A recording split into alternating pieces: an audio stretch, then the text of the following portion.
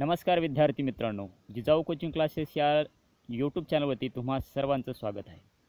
मित्रांनो नुकताच आपला बोर्ड परीक्षा दोन हजार एकवीस बावीस इयत्ता दहावी वेळापत्रक जाहीर झालेलं आहे. म्हणजे लवकरच आपल्या दहावीच्या परीक्षा या पंधरा मार्चपासून सुरू होणार आहेत. मित्रांनो या परीक्षेची तयारी तुम्ही सर्वजण करतच आहात. आपल्या यूट्यूब चॅनलच्या माध्यमातून आपण बरीचशी तयारी या ठिकाणी करून घेत आहोत. मित्रांनो या ठिकाणी तुम्हाला एक सरावासाठी म्हणून आपण हिंदी विषयाची जी कृतीपत्रिका आहे ॲक्टिव्हिटी पेपर जो आहे क्वेश्चन पेपर तो या ठिकाणी मी सादर करत आहे.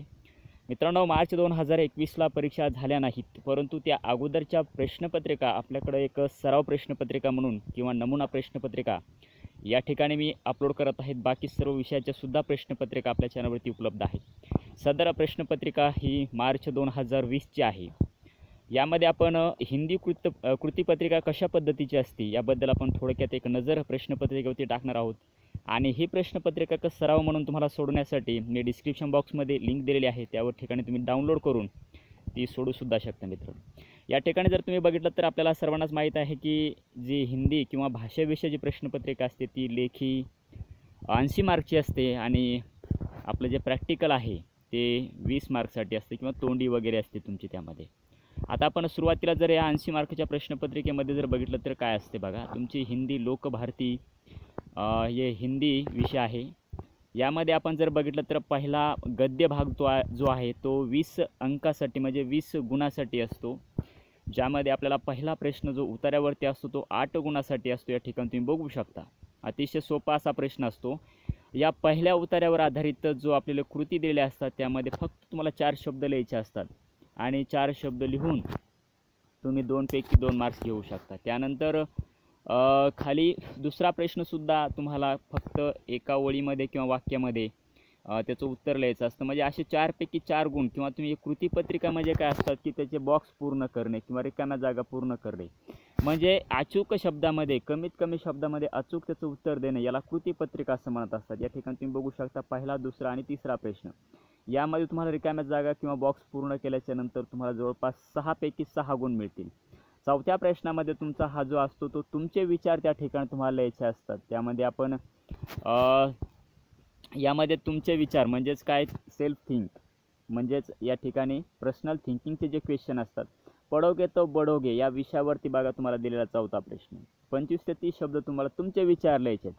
मग तुमचे जे काही विचार असतील ते तुम्ही लिहायचे आहेत. फक्त तुम्हाला पंचवीस ते तीस शब्द लिहिल्याच्या नंतर दोनपैकी तुम्हाला जर तुमचं अक्षर व्यवस्थित असेल लिखाण स्वच्छ असेल आणि जर तुमचं उत्तरही चांगल्या पद्धतीचं असेल तर दोनपैकी दोन गुण तुम्हाला या ठिकाणी मिळू शकतात. म्हणजे कोणत्याही उताराला तुम्ही जवळपास आठपैकी आठ गुण जरी नाही मिळाले तरी कमीत कमी तुम्ही साडेसात ते सात गुण या ठिकाणी घेऊ शकता. अशा प्रकारचे उतारे असतात. हा दुसरा उतारासुद्धा त्याच पद्धतीचा तुम्ही बघू शकता. या ठिकाणी कृती दिलेल्या आहेत.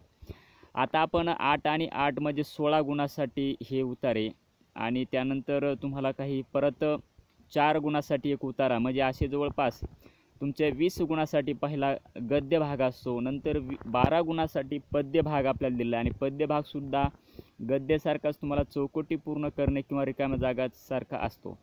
त्यानंतर आपण जर पुढचा भाग बघितला तर या मध्ये तुम्ही बघू शकता की पूरक पठण जे असतं आपलं ते आठ गुणासाठी आहे. म्हणजे जवळपास चाळीस मार्क्स तुमचे इथपर्यंत झालेत. आणि फक्त पूरक पठणमध्ये तुम्हाला जे दिलेले उतारे असतात ते तुमच्या पुस्तकाच्या पूरक पठणमधले असतात ते. त्यानंतर जो आपण पुढचा भाग बघूया तो आहे व्याकरणाचा जो आपल्या चौदा गुणासाठी असतो. इथपर्यंत जर तुम्ही बघितलं तर जवळपास चाळीस मार्क्स म्हणजे पन्नास टक्के तुमचा जो सिलेबस आहे तो तुमच्या पुस्तकावर आधारित या ठिकाणी मित्रांनो लक्षात घ्या. आणि वरचे जे चाळीस मार्क आहेत ते तुमचं व्याकरण दिलेलं आहे चौदा गुणासाठी. त्यामध्ये आता व्याकरणामध्ये काय काय आहेत बघा. शब्द के भेद म्हणजे शब्दांच्या जाती जे आपण इंग्लिशमध्ये पार्ट ऑफ स्पीच बघत असतो. आता हे जे व्याकरण आहे याचे सर्व व्हिडिओ आपल्या चॅनलवरती उपलब्ध आहेत. त्या ठिकाणी जाऊन तुम्ही बघू शकता ते. यामध्ये शब्दांच्या जाती असतील त्यामध्येच बघा विस्मयदी बोधक तुम्हाला शब्द दिलेला आहे खाली. त्यानंतर पुढे संधी आणि संधीचे प्रकार असतील सहाय्यक क्रिया असतील प्रेरणार्थक रूप असतील किंवा तुमचे मोहारे असतील. त्यानंतर पुढे तुम्हाला आणखीन दिलेला आहे शब्दांच्या भेद. म्हणजे तेच परत शब्दांचे त्यानंतर विरामचिन्हाचा उपयोग त्यानंतर काल आणि पुढे तुम्हाला म्हणजे वाक्याचे प्रकार सूचनानुसार तुम्हाला वाक्य बदलणे आणि त्यानंतर व्याकरणदृष्ट्या वाक्याचं शुद्धीकरण करणे. अशा प्रकारच्या या व्याकरणामध्ये चौदा मार्कसाठी तुम्हाला काही कृती असतात.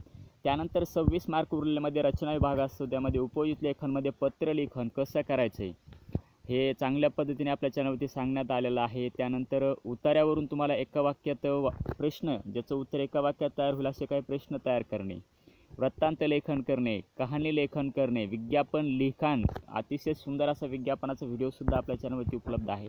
निबंध लेखन सगळ्यात शेवटचा भाग. असे जवळपास तुम्ही ऐंशीपैकी ऐंशी गुण तुम्ही चांगल्या पद्धतीने या हिंदी विषयामध्ये तुम्ही मिळू शकतात.